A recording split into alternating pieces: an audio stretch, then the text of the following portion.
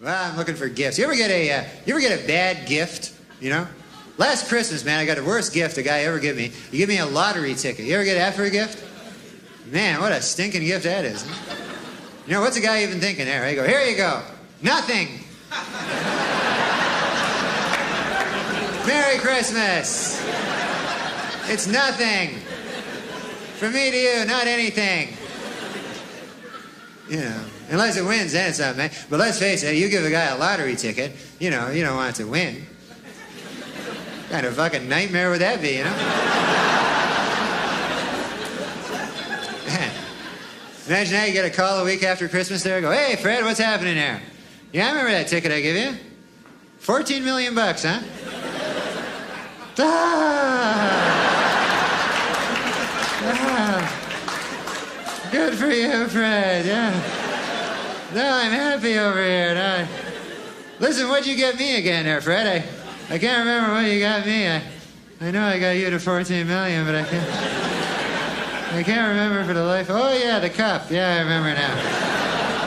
Yes, thanks for asking. I'm enjoying the cup there. I uh, had some tea out of it the other day there, and uh, some coffee. I'm hoping to have some soup there, and. Uh, Guess no chance that cup's skyrocketing in value at all, huh? I guess that's a sensible view. Well, I gotta go now, Fred. I gotta go apply a shard of glass to my throat. okay, goodbye. Oh, you never know. Eh? But you always gotta buy. I gotta buy for my dog now. I gotta buy gifts for him, you know. And uh, man, he has a birthday like seven times a fucking year too, you know. So always out shopping for him there. And, Man, you don't know what to get a dog. Eh? Very hard to buy for a dog. You know, what the hell are you going to get him, you know? You want to get him something he wouldn't ordinarily get for himself, you know, but that's, that's just strewn garbage. That's all he ever gets for himself. I got him a rubber bone. I thought he'd like that, you know? Dog gets it, goes, oh, great, a bone. Oh, yeah, it's not a bone. Million laughs, pal. What's next? An electric fire hydrant over here? What the? What the hell are you doing to me? I'm a dog over here. My grandmother, she got my dog a sweater. She knitted him a sweater. What a useless gift that is, huh? Big green sweater, you know. I don't want to make the dog wear it, you know, it just humiliates the dog there.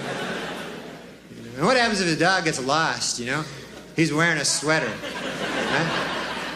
How long is he going to survive in the alleyways with that on his back? Yeah, them's mean streets if you're a wiener dog in a cardigan, I'll tell you that. You don't last too long here. They off you like a, whatever they off you like. Ah, so who knows though? I, my dog doesn't really talk, by the way. I know my dog talks in a lot of my little jokes there, but uh, I'm just lying there. He's a regular dog. You know. I lie like that sometimes. You ever lie? Who the hell doesn't lie? Hey, you gotta lie. But uh, you ever lie for no reason? That's the worst kind of lie, huh? You know, because usually there's a reason you lie. Like you want to protect somebody's feelings or, you know, fuck over your buddy or something like that.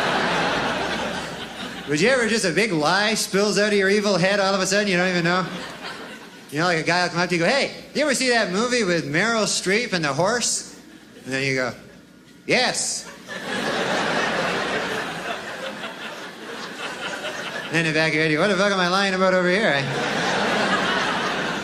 I stand to gain nothing by this lie. The hell am I thinking back here in my head?